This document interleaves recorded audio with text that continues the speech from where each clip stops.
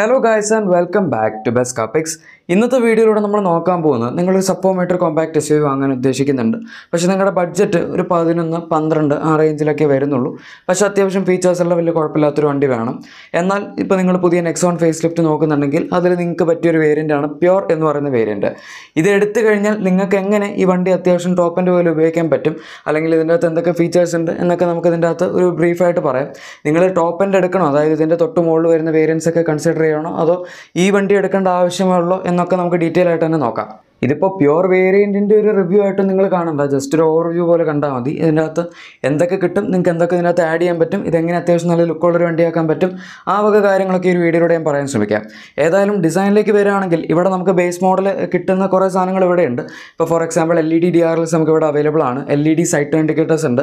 അത് D R എൽസിൽ തന്നെ integrate ചെയ്ത് തന്നെയാണ് വരുന്നത്. പിന്നെ ഒരു വ്യത്യാസമുള്ളത് ഇതിന്റെ തൊട്ട് മുകളിൽ നിൽക്കുന്ന വേരിയന്റ് ക്രിയേറ്റീവ് ആണ്. അതിന്റെ അകത്ത് നമുക്ക് എൽ ഇ ഡി സൈറ്റ് ഇൻഡിക്കേറ്റേഴ്സിൽ സെക്വൻഷ്യൽ ഫംഗ്ഷൻ കൂടി വരുന്നുണ്ട്. പക്ഷേ അത് ഈ വേരിയന്റിൽ ഉണ്ടാവില്ല. ഇത് ജസ്റ്റ് നോർമലായിട്ട് ഇങ്ങനെ ബ്ലിങ്ക് ചെയ്ത് പോവുള്ളൂ.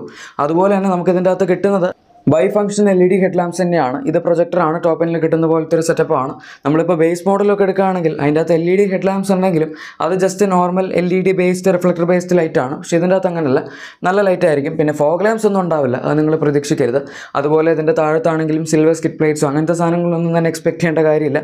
ഇത് സെക്കൻഡ് ബേസ് എന്ന് വേണമെങ്കിൽ പറയാൻ പറ്റുന്ന ഒരു വേരിയന്റ് ആണ്. ഓക്കെ എനിക്കറിയാം. ഇതിന്റെ താഴെ സ്മാർട്ട് ഉണ്ട് സ്മാർട്ട് പ്ലസ് ഉണ്ട് സ്മാർട്ട് പ്ലസ് എസ് ഉണ്ട് അങ്ങനെ കുറേ സാധനങ്ങളുണ്ട്. പക്ഷേ ബേസിക് റേഞ്ച് നോക്കുകയാണെങ്കിൽ സ്മാർട്ട് പ്യുവർ ക്രിയേറ്റീവ് ഫിയർലെസ് ഈ നാല് വേരിയൻസിൽ വരുന്ന കുറേ മോഡിഫിക്കേഷൻസ് ആണ് ബാക്കിയല്ല.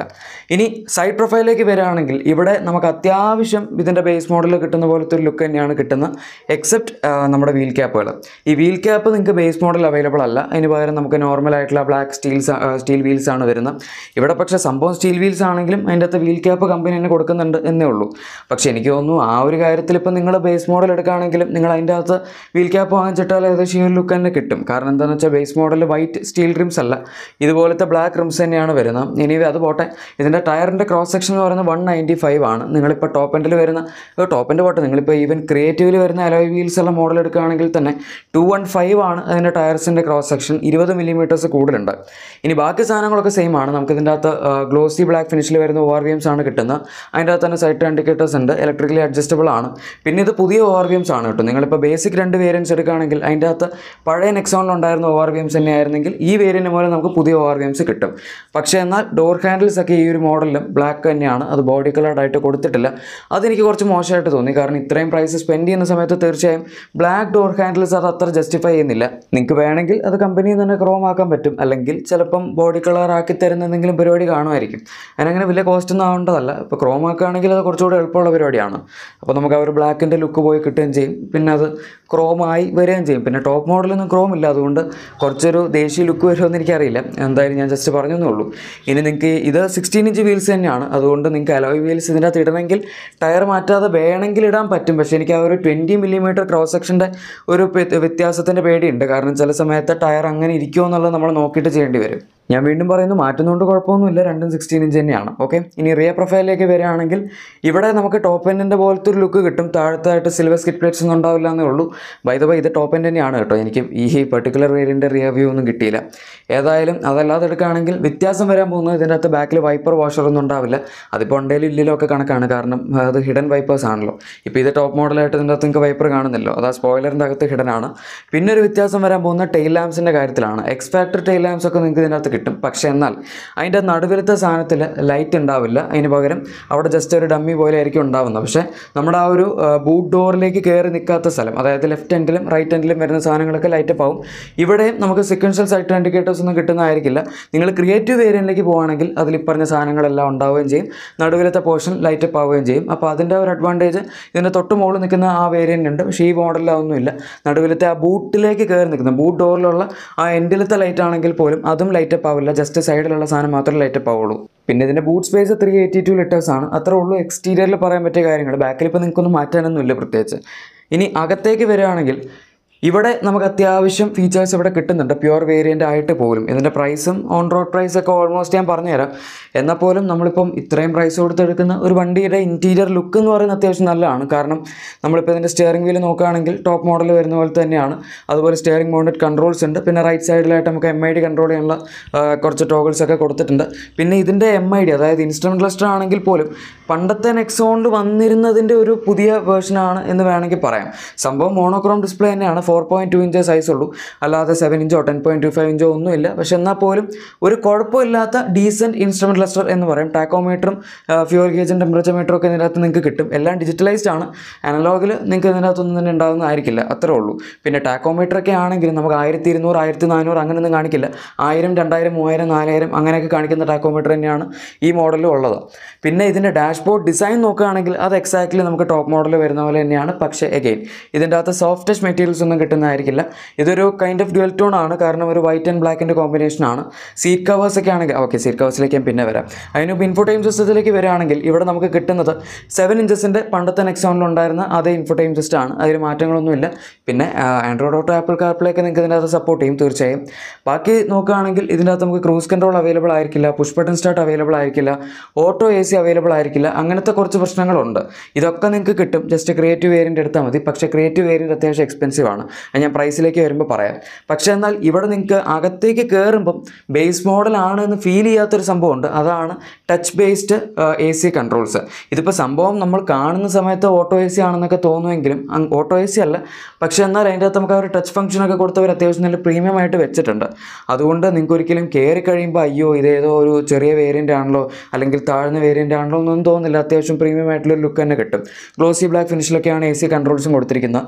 ടോപ്പ് എൻഡിൽ വരുന്ന പോലത്തെ ഫിനിഷ് തന്നെയാണ്. നമുക്ക് അപ്പ് ആൻഡ് ഡൗൺ ടോക്കിൾസും അതുപോലെ ടച്ച് ഫംഗ്ഷനും ഒക്കെ ഓരോ സാധനങ്ങൾക്കായിട്ട് ഇവിടെ അവൈലബിൾ ആണ്. അതെനിക്ക് പേഴ്സണലി ഇഷ്ടപ്പെട്ടു. കാരണം ഓട്ടോ എ സി അല്ലെങ്കിലും അതിന്റെ ഒരു ലുക്ക് കൊടുക്കാൻ അവർ ശ്രമിച്ചു. ഇനി ഇതിന്റെ സീറ്റ്സിലേക്കൊക്കെ വരികയാണെങ്കിൽ നമുക്കിവിടെ ഓൾ ബ്ലാക്ക് എന്ന് പറയാൻ പറ്റില്ല. ഒരു ബ്ലാക്ക് ആൻഡ് ഗ്രേയുടെ കോമ്പിനേഷനിലാണ് സീറ്റ്സ് വരുന്നത്. പിന്നെ ഒബ്വിയസ്ലി ഇത് ലെതർ റാപ്ഡ് ഒന്നല്ല നോർമൽ ഫാബ്രിക് സീറ്റ്സ് തന്നെയാണ്. അതുപോലെ നമുക്ക് ഈ വേരിയന്റിൽ ഫ്രണ്ടിലും ബാക്കിലും ആംറസ്റ്റ് ഒന്നും തന്നെ കിട്ടുന്നതായിരിക്കില്ല. അതൊക്കെ വേണമെങ്കിൽ നിങ്ങൾ ഇനിയും ഉയർന്ന വേരിയന്റുകളിലേക്ക് പോകേണ്ടി വരും. പക്ഷേ അഗെയിൻ നമുക്ക് ഇതിന്റെ അകത്ത് നാല് അഡ്ജസ്റ്റബിൾ ഹെഡ്രസ്റ്റുകൾ കിട്ടുന്നുണ്ട്. ബാക്കിലത്തെ സെന്റർ പാസഞ്ചറിന് ത്രീ പോയിന്റ് സീറ്റ് ബെൽറ്റ് ഉണ്ട്. അതുപോലെ ഹൈറ്റ് അഡ്ജസ്റ്റബിൾ സീറ്റ് ബെൽറ്റ് ഉണ്ട്. അങ്ങനത്തെ ഫീച്ചേഴ്സൊക്കെ ഇതിന്റെ അകത്ത് അവൈലബിൾ ആണ്. അക്കാര്യത്തിലൊന്നും പേടിക്കാനില്ല. ഇനി സേഫ്റ്റി ഫീച്ചേഴ്സിലേക്ക് വരികയാണെങ്കിൽ സിക്സ് എയർ ബാഗ്സ് ഉണ്ട് A B C T V D ഉണ്ട് ഇലക്ട്രോണിക് സ്റ്റെബിലിറ്റി പ്രോഗ്രാം ഉണ്ട് ട്രാക്ഷൻ കൺട്രോൾ ഉണ്ട്. അങ്ങനെ വരുന്ന എല്ലാ സവിശേഷതകളും നമുക്ക് ഇതിന്റെ അകത്ത് അവൈലബിൾ ആണ്. സോ സേഫ്റ്റി ഫീച്ചേഴ്സിന്റെ കാര്യത്തിലും പേടിക്കേണ്ട ആവശ്യമില്ല. ഇനി ബാക്കി കാര്യങ്ങൾ ഇതിന്റെ എഞ്ചിൻ ഓപ്ഷൻസിലേക്ക് വരികയാണെങ്കിൽ രണ്ട് എഞ്ചിൻ ഓപ്ഷൻസ് നമുക്ക് പ്യുവർ മോഡൽ മുതൽ അവൈലബിൾ ആയിരിക്കും. Smart smart plus smart plus എസിന്റെ അകത്തൊന്നും നിങ്ങൾക്ക് ഡീസലിന്റെ ഓപ്ഷൻ കിട്ടില്ല. പക്ഷേ പ്യുവർ മുതൽ നമുക്ക് പെട്രോളും കിട്ടും അതുപോലെ തന്നെ ഡീസലും കിട്ടും. One point two litre turbo പെട്രോളാണ് നൂറ്റി ഇരുപത് ബി എച്ച് പി അതുപോലെ നൂറ്റി എഴുപത് N M torque one point five litre turbo ഡീസലാണ് നൂറ്റി പതിനഞ്ച് ബി എച്ച് പി അതുപോലെ ഇരുന്നൂറ്റി അറുപത് ന്യൂട്ടൺ മീറ്റേഴ്സ് ടോർക്ക് ഇതാണ് ഇതിന്റെയൊക്കെ പവർ വരുന്നത്.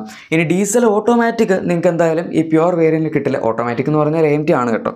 പക്ഷേ അതേസമയം നമുക്ക് മാനുവൽ കിട്ടും. മാനുവൽ സിക്സ് സ്പീഡ് മാനുവൽ ആയിരിക്കും കേട്ടോ ഇതിന്റെ അകത്ത് കിട്ടുന്നത്. മറ്റേ സ്മാർട്ടിലും സ്മാർട്ട് പ്ലസിലും വരുന്ന ഫൈവ് സ്പീഡ് മാനുവൽ ആയിരിക്കില്ല. ഇവിടെയും ഡീസൽ പോലെ തന്നെ നമുക്ക് ഈ പ്യുവർ വേരിയന്റിൽ ഓട്ടോമാറ്റിക് കിട്ടില്ല. സോ ഓട്ടോമാറ്റിക് വേണമെങ്കിൽ ഈ ഓട്ടോമാറ്റിക് എന്ന് പറയുന്നത് അഗൈൻ നിങ്ങൾക്ക് ഇപ്പോൾ ക്രിയേറ്റീവ് മോഡൽ എടുത്താലും എം ടിയുടെ ഓപ്ഷൻ ഉണ്ട്. ക്രിയേറ്റീവ് മോഡലിൽ പിന്നെ നമുക്ക് ഡി സി ഐയുടെ ഓപ്ഷനും വരുന്നുണ്ട്. ഫിയർലെസ്സിലും ഡി സി ഐയുടെ ഓപ്ഷൻ ഉണ്ട്. ഏതായാലും ഓട്ടോമാറ്റിക് വേണമെങ്കിൽ നിങ്ങൾക്ക് വേരിയന്റ് എടുക്കാൻ പറ്റില്ല. ഇനി മുകളിലത്തെ വേരിയന്റിലേക്ക് പോകേണ്ടി വരും എന്നുള്ളതാണ് സത്യം. ഇനി നമുക്ക് പ്രൈസിങ്ങിലേക്ക് വരാം. അവിടെ എന്താണ് പ്രശ്നം എന്നുള്ളത് മനസ്സിലാക്കണമല്ലോ.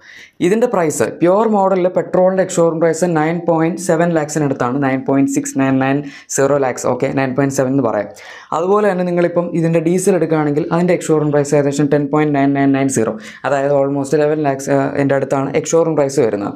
ഇവിടെ നിങ്ങൾ ക്രിയേറ്റീവ് വേരിയന്റ് പെട്രോൾ നോക്കുകയാണെങ്കിൽ ക്രിയേറ്റീവ് പ്ലസ് ഒന്നുമല്ല നോർമൽ ക്രിയേറ്റീവ് വേരിയന്റ് നോക്കുകയാണെങ്കിൽ അതിന്റെ എക്സ്ഷോറൂം പ്രൈസും ഏകദേശം പതിനൊന്ന് ലക്ഷം രൂപയാണ് വരുന്നത്. ഒന്നേ പോയിന്റ് മൂന്ന് ലക്ഷം രൂപയുടെ അടുത്ത് എക്സ്ഷോറൂം പ്രൈസിൽ വ്യത്യാസമുണ്ട്. എന്ന് വെച്ചാൽ ഓൾമോസ്റ്റ് ഒന്നേ നാൽപ്പത് മുതൽ ഒന്നരയുടെ അടുത്ത് വരെ നമുക്ക് ഓൺ റോഡ് പ്രൈസിൽ വ്യത്യാസം വരും എന്ന് പറയാം. ഈ ഒന്നര ലക്ഷം രൂപ അല്ലെ പോട്ടെ ഒന്നേ നാൽപ്പത് ലക്ഷം രൂപയുടെ അടുത്ത് നമ്മളിപ്പം I mean one point four ആണ് ഒരു ലക്ഷത്തി നാൽപ്പതിനായിരം. ഇനി ഇവിടെ ഈ പ്രൈസ് ഡിഫറൻസിൽ നിങ്ങളിപ്പം ക്രിയേറ്റീവ് മോഡൽ എടുക്കുകയാണെങ്കിലും നിങ്ങൾക്ക് അങ്ങനെ ഭയാനകമായിട്ടുള്ള സാധനങ്ങളൊന്നും കൂടുതൽ കിട്ടുന്നൊന്നുമില്ല. അവിടെ ten point two five inch infotainment system ഉണ്ടോ എന്ന് സത്യം പറഞ്ഞതിന്റെ ബ്രോഷർ നോക്കിയിട്ട് എനിക്ക് മനസ്സിലാവുന്നില്ല. ക്രിയേറ്റീവ് പ്ലസ്സിൽ ഡെഫിനറ്റ്ലി നമുക്ക് ten point two five inch infotainment system മറ്റേ three sixty degree camera blind spot monitor തുടങ്ങിയ സാധനങ്ങളൊക്കെ കിട്ടും.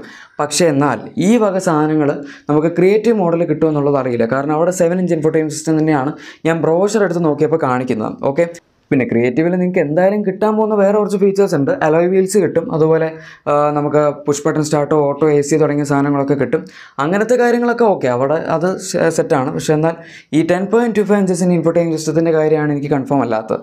പിന്നെ ക്രിയേറ്റീവ് നിങ്ങൾ എടുക്കുകയാണെങ്കിൽ ക്രിയേറ്റീവ് പ്ലസ് വേണം എടുക്കാം. കാരണം ലെവൻ പോയിന്റ് സെവൻ എഴുപതിനായിരം രൂപയുടെ വ്യത്യാസമുള്ളൂ ആ എഴുപതിനായിരം രൂപയ്ക്ക് മറ്റേ വേരിയന്റിൽ അത്യാവശ്യം കൂടുതൽ ഫീച്ചേഴ്സ് കിട്ടുന്നുണ്ട്.